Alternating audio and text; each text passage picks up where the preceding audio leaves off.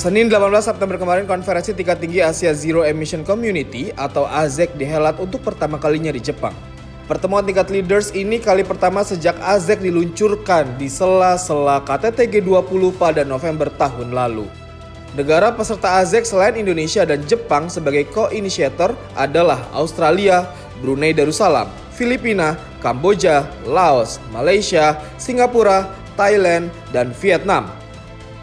AZEC menjadi platform kerjasama untuk mendorong pencapaian net zero emission di kawasan, sehingga KTT ini pun menghasilkan 69 kerjasama transisi energi. Dari jumlah tersebut, 24 di antaranya adalah proyek transisi energi untuk Indonesia atau antara perusahaan Indonesia dengan Jepang.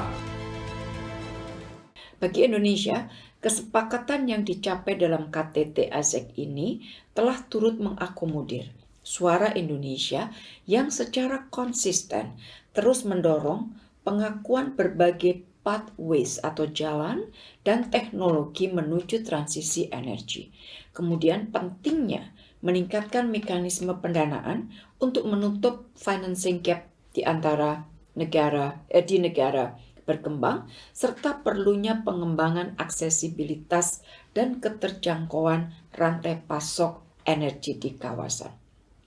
Sebagai deliverables, terdapat 69 kerjasama transisi energi dalam kerja dalam kerangka AZEC, di mana di antara 69 tersebut 24 di antaranya adalah proyek transisi energi untuk Indonesia atau antara Indonesia, perusahaan Indonesia dengan perusahaan Jepang. Jadi saya ulangi, dari 69 proyek kerjasama, 24 di antaranya berasal dari Indonesia yang didukung oleh Jepang. Antara lain dengan PLN, dengan eh, PPT Energy Trading Co. Ltd, dengan Pupuk Indonesia, dengan OIKN, dan lain-lain.